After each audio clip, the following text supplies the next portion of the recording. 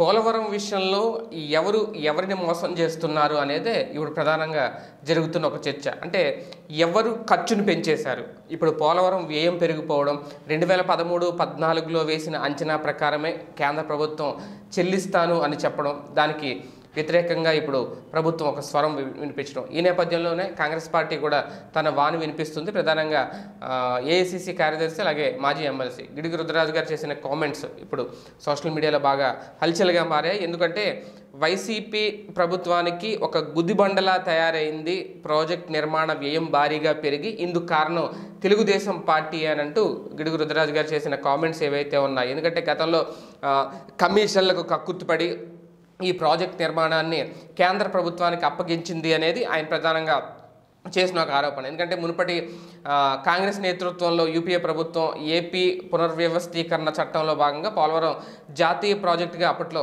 ప్రకటించడం జరిగింది. దీన్ని పూర్తి చేయడం అనేది పూర్తిగా కేంద్ర బాధ్యత. కానీ చంద్రబాబు నాయుడు గారు అప్పట్లో లాబీయింగ్తో కేంద్రం బాధ్యతను పూర్తిగా పక్కన పెట్టేసి రాష్ట్రానికి అప్పగించడం. ఇప్పుడు అది ఆ ప్రాజెక్ట్ సవరించిన అంచనాలు చూసుకుంటే ఇప్పుడు బీజేపీకి మింగుడు పడట్లేదు. అందుకే ఇప్పుడు ఈ కొత్త అంచనాలు అంటే దాదాపు యాభై వేల కోట్ల రూపాయలు పెరిగింది. కానీ రెండు వేల పదమూడు పద్నాలుగులో ఈ ప్రాజెక్ట్ అంచనా వ్యయాన్ని మాత్రమే చెల్లిస్తామని చెప్తుంది ఒక పక్క కేంద్ర ప్రభుత్వం. అందుకే ఎట్టి పరిస్థితుల్లోనూ రాష్ట్ర ప్రభుత్వం అయితే అంగీకరించిన పరిస్థితి.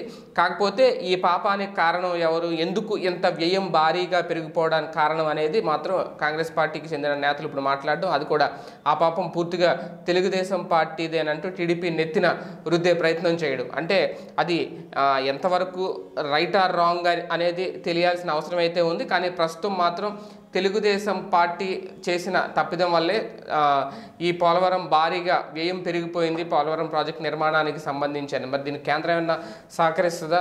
లేదంటే ఈ విషయంలో Bharatiya Janata Party versus YSRCP అన్నట్టుగా ఒక కొత్త వివాదం తెర మీదకి వస్తుందా వేచి చూడాలి అంటున్నారు కొంతమంది సీనియర్ రాజకీయ విశ్లేషకులు. గనక మీకు నచ్చినట్లయితే లైక్ చేయండి షేర్ చేయండి.